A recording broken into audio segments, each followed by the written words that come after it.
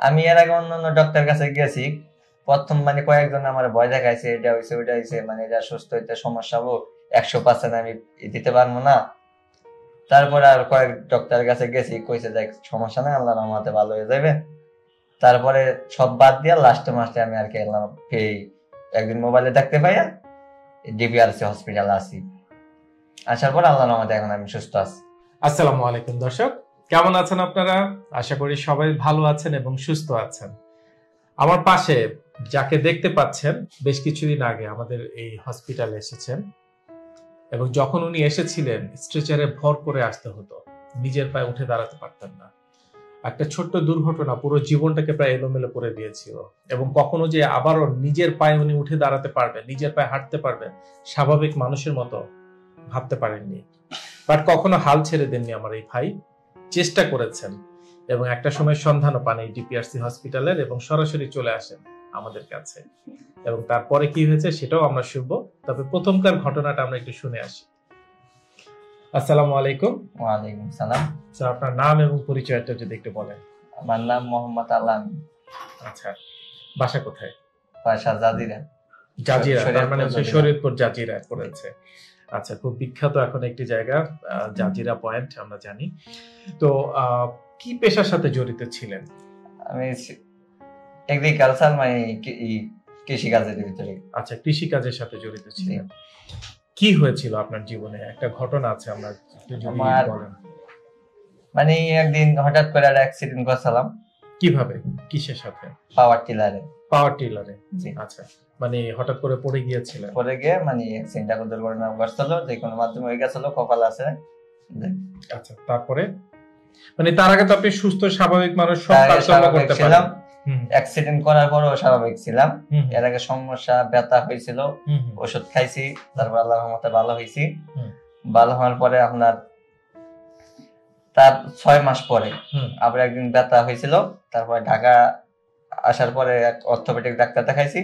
সে medicine লিখে দিয়েছে ওগুলা খাওয়ার পরে আল্লাহ রহমতে আবার ভালো হয়ে গেছে। আলহামদুলিল্লাহ। ভালো হওয়ার পরে। এক বছর পরে এই যে বিগত দেড় মাস ধরে আবার একদিন জ্বর আসছিল ওই জ্বর থেকে আবার তারপর থেকে ব্যথা শুরু হয়েছে।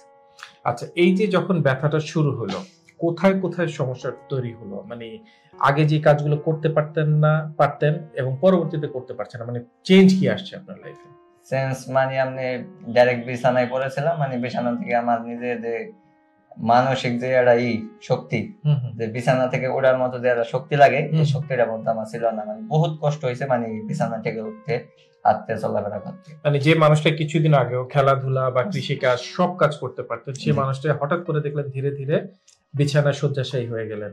কারও সাহায্য ছাড়া উঠতে পারছেন না স্ট্রেচার ছাড়া হাঁটাচলা করতে পারছেন না। তো আপনি তো একজন ইয়াং একজন মানুষ। তখন মনের ভিতর বিভিন্ন প্রশ্ন আসতো না যে কেন এরকম হচ্ছে বা ডক্টররা এই ব্যাপারে কি বলতেন? কি সমস্যা? ডক্টররা বলছে চিন্তার কোনো কারণ নাই সমস্যা নাই। এটা আর্থোস্কোপের মাধ্যমে লিগামেন্ট সিএলসি থেকে গেছে এটা এটা আর্থোস্কোপের মাধ্যমে আর কি লাগাইলে ঠিক হয়ে যাবে। আবার পরবর্তীতে এক বছর সময় লাগবে। আচ্ছা।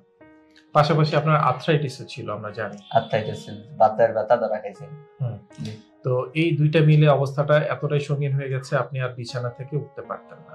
ওই সময়টা কেমন লাগতো যখন একদম বিছানা ছেড়ে উঠতে পারছেন না কারও সাহায্য ছাড়া উঠতে পারছেন না? মানে কি মনে হতো তখন? নিজের কাছে একটু খারাপই লাগতো। তারপরে মানে চেষ্টা করছি আল্লাহ রোগ দিছে ভালো করার মালিক আল্লাহ। ডাক্তার দেখাইছি আপনার চারজন। চার থেকে পাঁচজন ডাক্তার দেখাইছি। ওনারা বলছে দেখ সমস্যা নাই আল্লাহ আমাদের ঠিক হয়ে যাব। মেডিসিন দিছে ওই বাত ব্যথা যে আর্থাইটিস রোগটা হয়েছে এটা সারলে মানে আর্থোস্কোপিটা করে মানে লিগামেন্টটা লাগাই দিতেছি তো পরবর্তী দিকে অপারেশন করেছিলেন? জি না। আচ্ছা। তো এই ডিপিআরসি হসপিটালে যে এর চিকিৎসা হয় কীভাবে জানলেন এটা? মোবাইলের মাধ্যমে জানছি।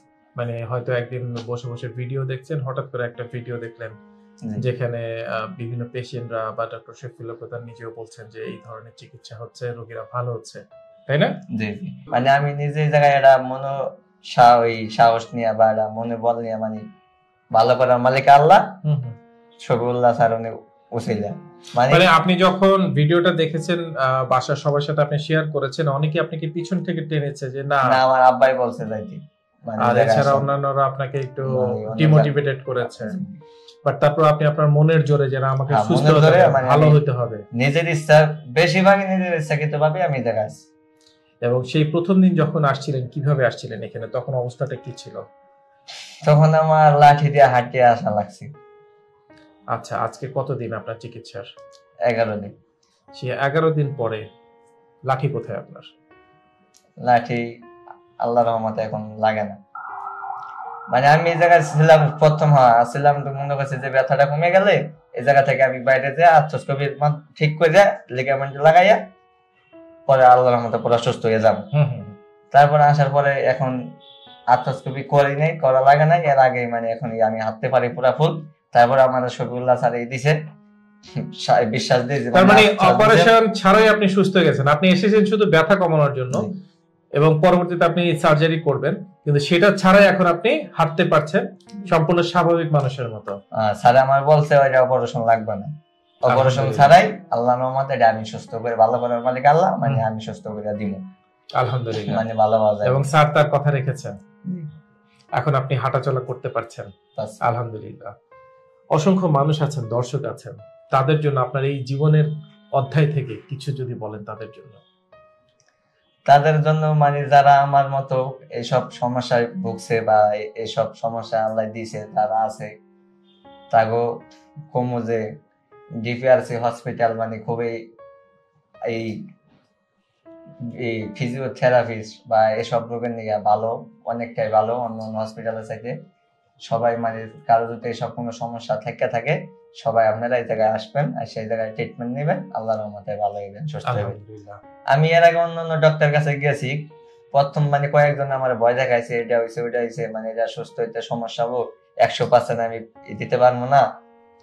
তারপরে আর কয়েক ডক্টর কাছে গেছি কইছে দেখ সমস্যা নাই আল্লাহ রহমতে ভালো হয়ে যাবে তারপরে সব বাদ দিয়ে লাস্টে মাসে আমি আর কি এলাম এই একদিন মোবাইলে দেখতে পাইয়া ডিপিআরসি হসপিটালে আসি আসার পর আল্লাহ রহমতে এখন আমি সুস্থ আছি। আপনার যদি কারও এসব কোনো সমস্যা থাকতে থাকে বা এসব সমস্যায় যদি কেউ ভুগে থাকে, সবাই আপনারা এই জায়গায় এসে ট্রিটমেন্ট নেবেন আল্লাহ রহমতে সুস্থ হয়ে বাড়ি ফিরবেন। আলহামদুলিল্লাহ। দর্শক মেসেজটা কিন্তু ক্লিয়ার সঠিক চিকিৎসা একটা মানুষকে সম্পূর্ণ সুস্থ করতে খুব বেশি সময় নেয় না। আমাদের উচিত সঠিক চিকিৎসা করে অনতিবিলম্বে সুস্থ হয়ে ওঠা। যেমনটা আমার এই ভাই হয়েছেন বিভিন্ন জন বিভিন্ন কথা বলেছেন। বাট উনি নিজে অ্যানালাইসিস করে বের করেছেন কোনটা ওনার করা দরকার। এবং সেই অনুযায়ী চিকিৎসা নিয়ে দেখুন অপারেশন বিহীনভাবে সে মানুষ এখন হাঁটতে পারে, চলতে পারে, সব কাজই করতে পারে। নতুন করে বাঁচার স্বপ্ন দেখছে। ভালো থাকবেন, সুস্থ থাকবেন। এবং এই মেসেজটি আপনার জন্য যতটা জরুরি, অন্যের জন্য জরুরি, পৌঁছে দিবেন সকলের কাছে। আসসালামু আলাইকুম। ডিপিআরস লিমিটেড আস্থা বিশ্বাস ও নির্ভরতায় অবিচল।